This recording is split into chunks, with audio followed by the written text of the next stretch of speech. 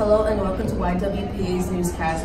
Welcome everyone, I'm your host Trinity and this is my co-anchor Angel. Today we will be reporting about two, about two major laws, the Townshend Act and the Sugar Act. So today we have reporting news of the Townshend Act that was passed down by the government. The, the British had to make the colonists pay taxes for everything they use, for example, lead, glass, tea, and. Colonists were happy with the choice so as a result, they boycotted and even had smuggled goods into the country so they wouldn't pay the tax. These colonists mostly weren't upset about the taxes, but mostly about the principles.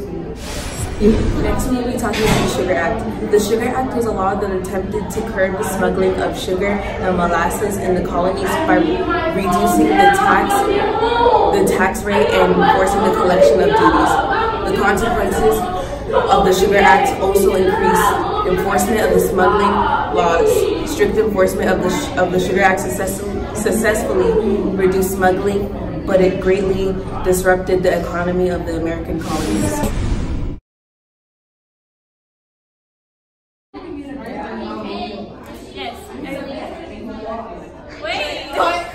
Three. Good morning. Hello and welcome to YWPA's Hostcast.